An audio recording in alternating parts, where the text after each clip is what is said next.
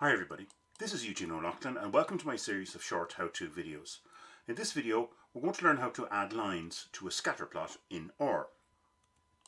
So first let's take a look at some data and use it to plot a simple scatter plot.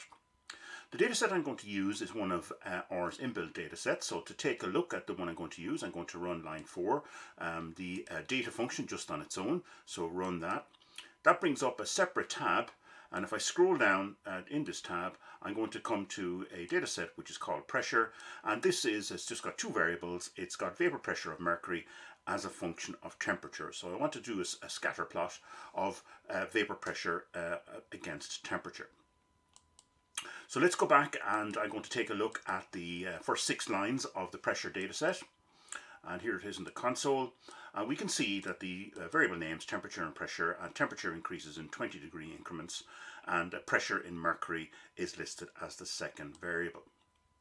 So when we want to plot a simple histogram of that, I'm using the plot function, and you can see in the parameters in this function, I'm using the pressure data set, uh, adding a main heading for the diagram, uh, putting the word temperature on the X label and the word pressure on the Y label. So this is a fully labeled plot. So let's go ahead and run that.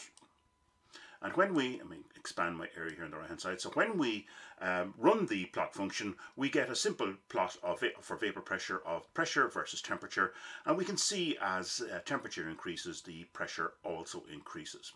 And we take a zoom in on that using the zoom function in RStudio and we get quite a large chart here and we can get a clearer picture of, of um, the increase in pressure as temperature increases.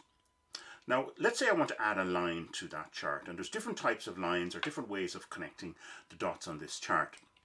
So to do that, in my plot function, I'm going to add in an extra parameter.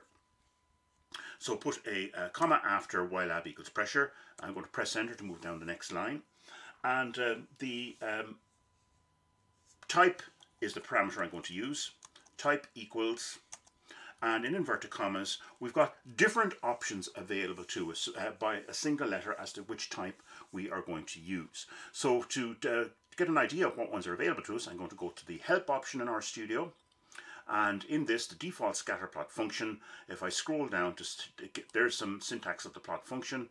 And if I go down to see what the arguments are, we can see that the one of them is type and that if I um, highlight some, some items in this, the following values are possible.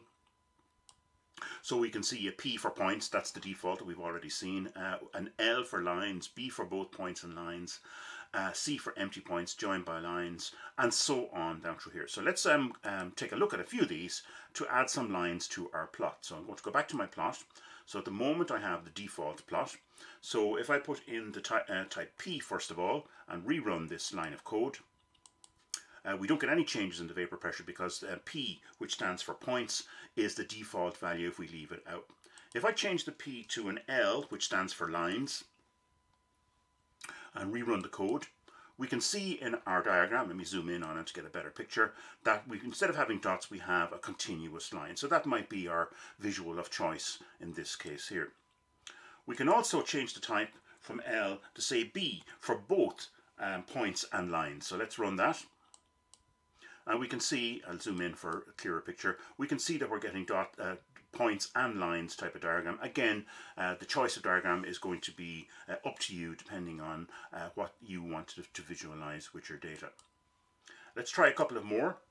Uh, if I um, go for, say, um, H, the letter H, for histogram, and run this, we see we will get, and I'll zoom in again, we're getting a, a, type of histogram, not particularly useful for this type of data, but again, it might be suitable for data that you are going to be using. We can also do a small s for some step for some uh, steps, stair steps. So let me again run the line of code. So I'm just rerunning the same line of code over and over. All I'm doing is changing the type as I go along. And we can see if I zoom in again that we're getting a step type of, of um, a diagram for vapor pressure and again that might be suitable for you. We can also use a capital S for a different type of steps. So this is for other steps. Uh, run this and uh, we can, if I zoom in again, we're getting a slightly uh, different type of step in here. So experiment with the different options here. Look up to help and see what letter you should use for the type of option that you want for the type of line that you are using in your chart. So that's how you add lines to a simple scatter plot in R. I hope you found this video useful. Thank you for your attention.